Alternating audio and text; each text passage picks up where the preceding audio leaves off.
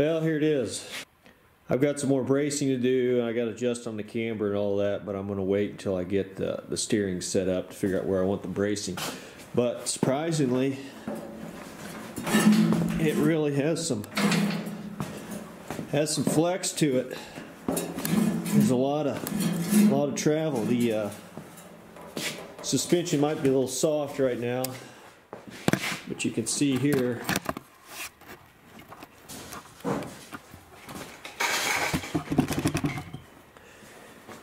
Sure does flex, all right.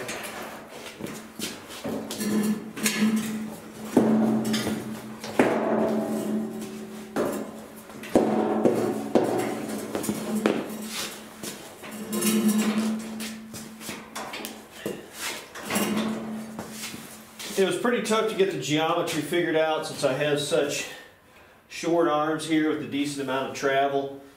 Uh, I'm going to have quite a bit of uh, I'm going to have quite a bit of camber gain as these tires come up, but there's not going to be that much travel here, so I think I can live with it. I did the short long arm style. I really dropped the upper arms down on the frame. They're much closer together here than the ball joints are. And I did that mostly because the hood goes right up to here and I was going to have to cut into it and I thought I could still get geometry to work right. I got these shocks mounted pretty close to uh, vertical, which is what you want ideally.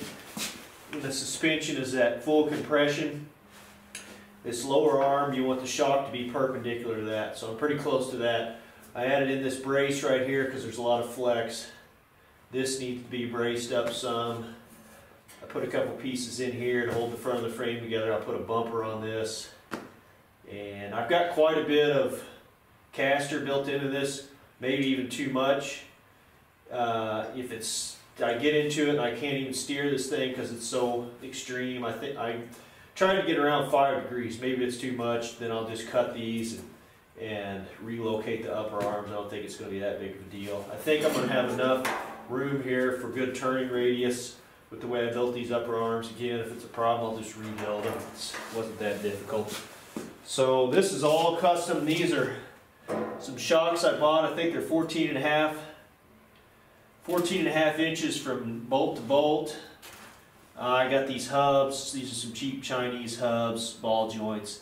Pretty much everything else I made out of one inch tubing or parts on the lathe. I did get some bushings here that I made. So anyway, I think that's going to be pretty, it's already looking pretty cool. I'm going to have to make some cutouts for the hood just for the shocks and these towers. Everything else is going to work.